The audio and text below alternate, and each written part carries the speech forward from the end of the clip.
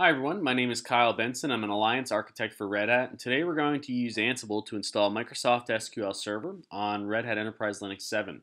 If you'd like to follow along with this guide, you will need uh, Ansible installed on your local system, as well as a uh, Red Hat Enterprise Linux system that has some basic internet connectivity to connect to the Microsoft repos.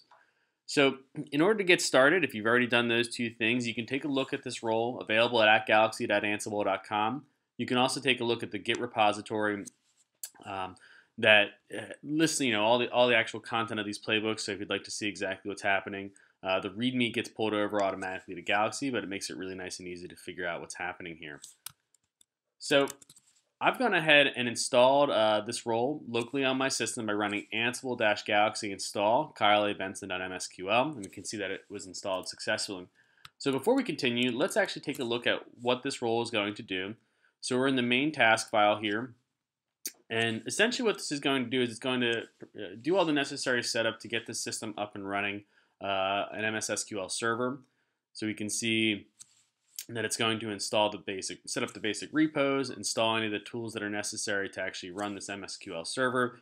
It's going to make sure that if we are specifying a firewall, uh, that that firewall port is configured and ready. And then it's also going to start the services and make sure everything's good to go. Uh, within this role, I've also included some other tasks that make it easy to create a new database, uh, import an existing database schema, or delete a database. So let's take a look at my actual playbook where we're going to call that role. So I'm specifying here uh, just a couple of basic things. I'm going to specify that the database name is going to be named Ansible Demo. Uh, it's going to operate against localhost when creating that because it is connecting to that system.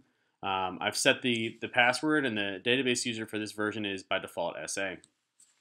And then what we're going to go ahead and do is call the role. So this is actually going to perform all that work we just saw in the main.yaml. And then it's going to create a new database. And so this takes a few minutes because uh, uh, it'll install these packages. It's going to pause for 15 seconds for, for that database connection to come up, make sure that it's there. And then we're going to go ahead and create that database. So let's go ahead and give this a run. Playbook site.yaml.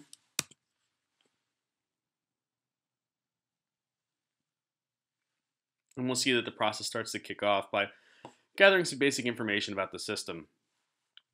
From there, it's going to go ahead and install the, uh, the EPEL repository uh, to satisfy some dependencies, as well as the Microsoft server to actually install the MSSQL server bits.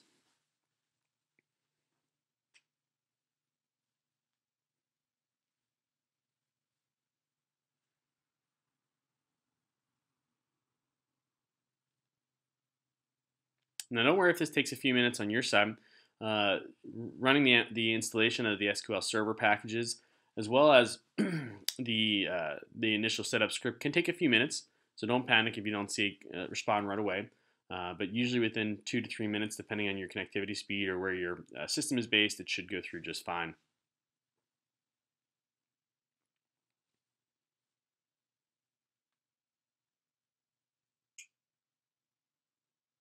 All right, looks like that went through successfully. So now it's going to just make sure that if we're up doing an upgrade, it's going to stop any existing server. It's going to run the, uh, the setup script here.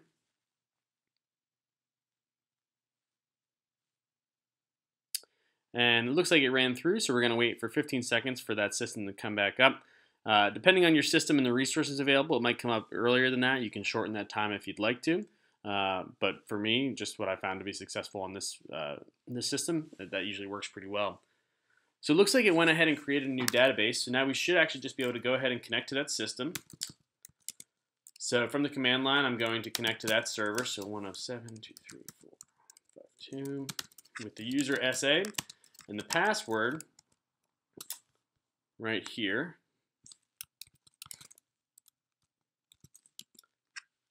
And it looks like we've connected successfully. So if we take a look at our list of databases, we can see that it successfully created the Ansible demo database. And that's it. We're good to go. So that's installing and base, basic configuration of a database using Ansible for Microsoft SQL Server on RHEL. Be sure to check out the repository, try to do some existing imports if you have a database that you'd like to pull in. Otherwise, uh, happy automating and hope you enjoyed the video.